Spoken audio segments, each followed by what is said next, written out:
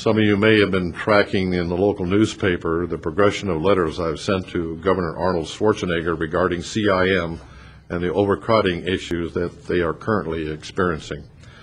I continue to be frustrated by the number of inmates at CIM and the fact that the correctional officers are often forced to work long shifts, compromising the safety of themselves, the inmates, and our city's population. Last Friday, I sent a follow-up letter to my initial correspondent, uh, correspondence dated back in August 10th, venting my frustration due to a lack of a response from the Capitol after 34 days. After the close of business last Friday, the city received a letter uh, via fax from James E. Tilton, Secretary, California Department of Corrections and Rehabilita- uh, Rehabilitation, apologizing for the delay in getting back to me. Mr. Tilton's letter did not address the specific plan on how the prison population at CIM would be reduced, but stated his uh, uh, objective is to reduce inmate overcrowding by returning all California institutions to a safe operational capacity. According to Mr. Tilton's letter, 54 correctional officers have reported to CIM since last April of this year, and another 58 are scheduled to report prior to January 2007. He also stated that there is $1,659,000 that was appropriated to fix up the prison in the last fiscal year, and uh, there's uh, $1,725,000 allocated this fiscal year uh, to complete several projects and uh, some general repa- uh, repairs to the aging uh, institution. In my opinion, these steps toward a solution, these uh, are steps toward a solution, but they're not aggressive enough to correct the problem in a timely manner. I support the governor's initiative on relocating prisoners currently located within our state to other states uh, where overcrowding is not an issue.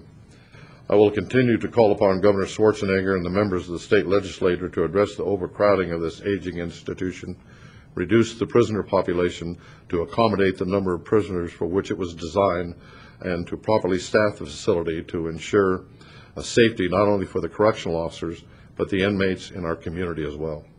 I will keep the uh, residents of Chino appraised of this situation uh, as it continues to develop. Uh, I know for a fact that uh, uh, I've got people inside CIM that are emailing me and writing me letters, uh, employees. Um, I know for a fact they've gone around to the prisoner population and asked each and every inmate whether they would like to be transferred out of state. So I know that's transpiring as we speak. You probably read last week uh, that another correctional officer was attacked and brutally beaten by an inmate in the medium security yard. Uh, I'm curious to know if uh, the uh, correctional officer, uh, how many shifts he had worked uh, in a row prior to being assaulted by the inmate.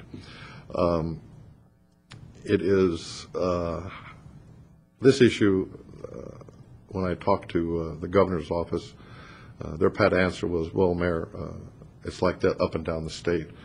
And I said, that's not acceptable to me. Chino is different than the rest of the state. I asked the government official to name another city that had three correctional institutions uh, within their city limits with over 10,000 uh, inmates, and uh, he couldn't answer that question. So in my mind's eye, the Chino is unique in the whole state of California because of the three institutions that are housed within our city limits. So uh, I can be a kind of pain uh, in the rear for the uh, state, uh, so I will continue to be until uh, such time. I know they have already emptied the gymnasium where they had them triple stacked. Um, But our city attorney, Mr. Gutierrez, has investigated on what the council can do uh, to be litigious, and uh, his recommendation to the council that I thought palatable was um, um, file a CEQA uh, grievance uh, on this behalf of uh, uh the prison.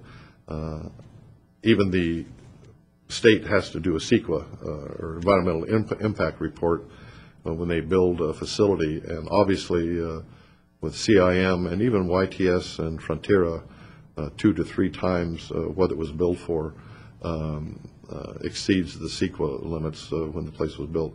Jimmy, would you like to add comments to that?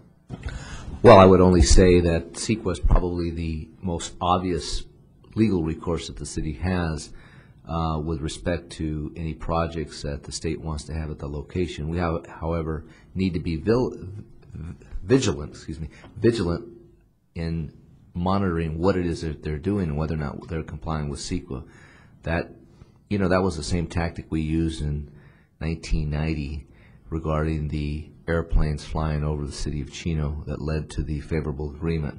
Uh, but it's going to require more work. We're also looking into other areas of protocol that the state has to follow in, in terms of making assignments of inmates. And the last area that uh, we suggested was uh, legislation. Uh, There's enough cities that have prisons that may have similar concerns, and we can round up uh, assemblymen and senators to sponsor or get onto some of that legislation, that may be helpful. It's just a suggestion. Thank you, Mr. Gutierrez. Um, I would request from the city manager that the um, item be placed on